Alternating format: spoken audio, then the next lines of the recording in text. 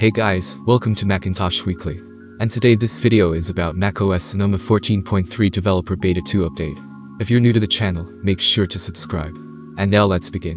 Recently Apple released macOS Sonoma 14.3 Beta 2 update for the developers. To update your Mac to macOS Sonoma 14.3 Beta 2, simply open System Settings, then go to the Software Update section, and then check for updates. Here you can see the update is available for my device. This macOS Sonoma 14.3 Beta 2 update size is around 1.84 GB for my device. Click on Update now and then agree to the SLA to begin the update on your device, and enter the password when prompted.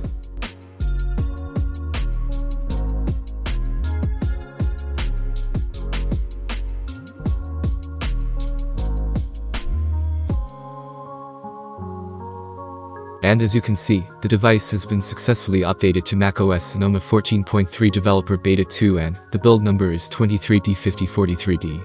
Now moving forward and talking about the macOS Sonoma 14.3 Developer Beta 2 release notes.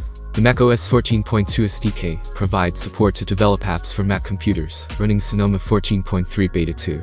The SDK comes bundled with Xcode 15.1, available from the Mac App Store. Regarding the StoreKit resolved issues, resolved an issue where APIs that provide transaction values would unexpectedly fail when the purchase price of the transaction is a very large number. The rest of the build seems identical to previous betas, so that was in hope it was useful. Consider like for the video, subscribe to the channel, and if you have any questions, just comment down below. Thanks for watching and have a great day ahead.